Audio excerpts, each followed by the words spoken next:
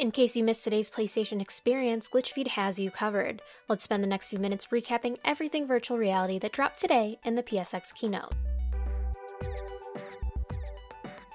Project Morpheus, Sony's ambitious virtual reality platform, was first introduced at GDC in 2014.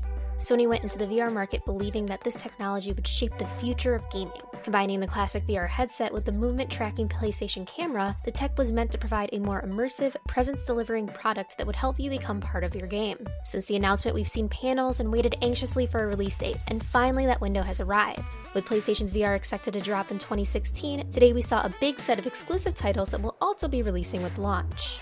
They led with Rez Infinite, a reintroduction of a title that came out in 2001.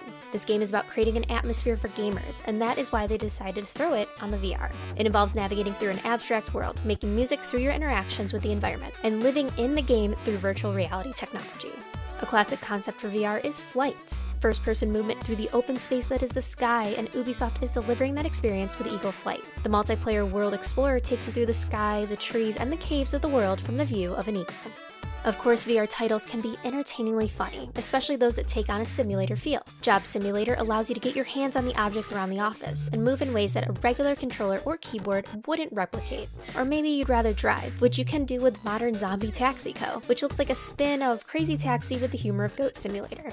As funny as those two games appear to be, 100 Foot Robot Golf really takes the cake for humor. You are a 100 foot robot playing golf in a city, which means you are going to be running around destroying your way to the green. While you can play it without VR, really, this game seems perfect for the first person perspective.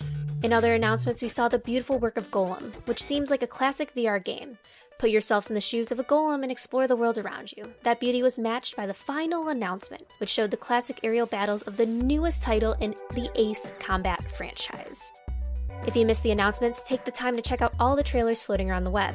You can check out both our live reaction and overviews to the rest of the keynote speech. And if you like what you see, let us know in the comments below or by making sure to subscribe so you can stay up to date on the top gaming news each and every day.